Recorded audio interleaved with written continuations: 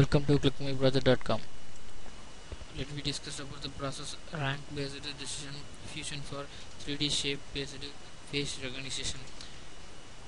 In this process, face recognition is one of the most biometric technique in developing the security world. In our proposed to use the robust method to recognize the 2D face using the robust algorithm. Principal component analysis techniques will help to extract the feature of face and combine these values to recognize the face by using the KNN classifier, K nearest neighbor classifier that all proposed process give very accurate result combined to the existing method. In that method, the performance of face recognition is improved. In the face recognition method is the oldest method in technology world. There are lot of methods was used previously. In the 2D face recognition previous method extract the less amount of feature. Now we have to using the proposed technique is very efficiently.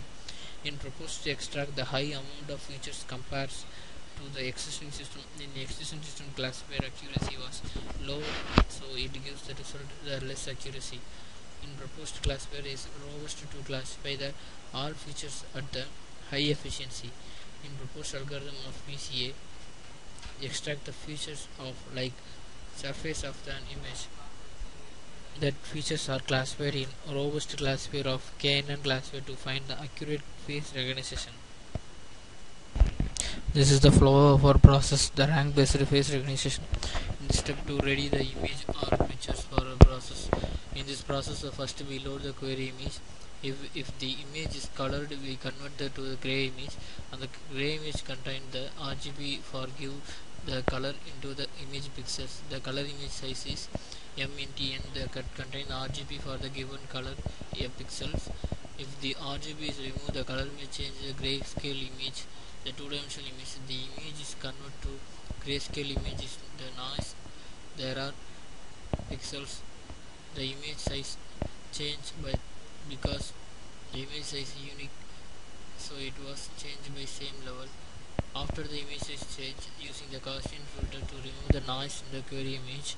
The query image noise removal is uh, pixel values are removing the unwanted pixels in the image. That unwanted pixels are changed every time to load off the image. That noise reduce the performance of the image retrieval so it is remove the Gaussian blur. It's the result of blurring an image by Gaussian function it is widely used effect in graphics software typically reduce the image noise and reduce the detail the visual effect of this blurring technique is smooth blur resembling that of viewing the image through the transparent screen distinctly. The, the next step is to extract the features. The extract the features digital image in matrix form so the processing time is high very complexity. The vector is less complexity for the process so the image matrix is converted to the vectors for easy process. There are so many transformer technique was used previously the DWT, DCT, DST and FFT etc. In our process we use the principal component analysis for extract the features. The feature is vector transform of the given image. The PCA based feature extraction is should be the profiles corresponding to the, the sample images and the total number of uh, samples respectively. The samples were classified to the clinical sets of PCA applied in two ways. The method 1 and the method 2 the sample based the mRNA based and sample based. Methods to be handled to the extract the features in the PCA the train feature use the feature extraction process in every image of database and set of the values for each features for identify the feature values during the classification process. That process is same as the feature extraction of the query image that all the features are stored in database for retrieval and authentication process. The retrieval images should be the use the KNN method for retrieval the image in database. The K nearest neighbor classifier is the effective learner for a general pattern to recognize the domains. The KNN classifier are appealing because there are conceptual simplicity which makes them easily to implement the KNN classifier allow the new information to be easily included at runtime and are thus useful for applications that collects the user feedback KNN algorithm follows the basic structure of database by iterating through the training set to produce the ensemble of classifiers as the proposed hypothesis. However, during each iteration, instead of testing the current hypothesis with the whole set of training instances, boosted KNN holds out a training instance and classifies the held out instance using the rest of training set. By using this clever one out method, each training instance will not help classify itself. This is important because by not leaving the instance out, the gain KNN classifier will always achieve 100% training set accuracy and boosting is not possible. In traditional boosting, it should be the instance the misclassified would have its weight changed by the KNN algorithm. A weighted term is associated with the each training instance and weight terms are initialized to 0. In this MATLAB main window we have to concentrate on current folder command window workspace and command list of process. The command folder is very useful to load the executed files in our process. The command window shows the visual view for running of our process. The workspace is stored the values and variables of using coding uh, parameters and variables of our process. The command history is stored the all process obtained in the command window of our running coding during the running. We have to run the process. Select the main.m, right click and click run. After clicking run, we have to visually view the window for our process. Face recognition is still running. It takes some time to obtain the window for our process.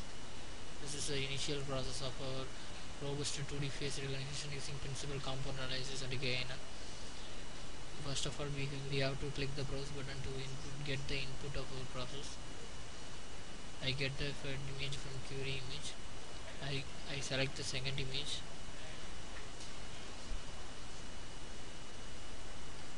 The image should be viewed in the display of our process. Next we have to click the filter button. After clicking the filter button the noise should be removed from the input image because they improve the quality of input images to remove the unwanted pixels in the input image. Next we have to click the PCA principal component analysis. After clicking the principal component analysis we have to see the input image should be separated from the applying the algorithm of principal component analysis we have to extract the test feature of our process. Click the extract specifier we have to display the values should be the all values should be the training of our process. Each image. Next we have to extract the training here. After clicking the extract training here the weight bar should be low or processed from you have to extract the train feature of our process. And then finally we train the features in the train the features we have to see the flow of our process to obtain the uh, how to how to retrieve the image to flow the between the class value of classification in class uh, 1 to 5 of our process between the image and class value. Now this is the final window.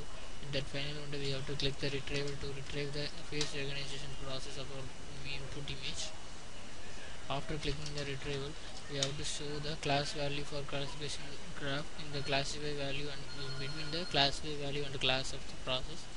This is the original uh, retrieved image of our process. In the retrieved image you have to the another step is the analysis of our process. Analysis is very useful to analyze the classifier using the principal component analysis of our process. After classifier process we have to display the value should be the class accuracy the accuracy of the result should be the notified the uh, processing the input image to retrieving the output image. We have to conclude our process. We have to take the input image to applying the PCA principal component analysis. The finally retrieve the original image uh, very effectively and successfully done. And also the accuracy should be validated. Thank you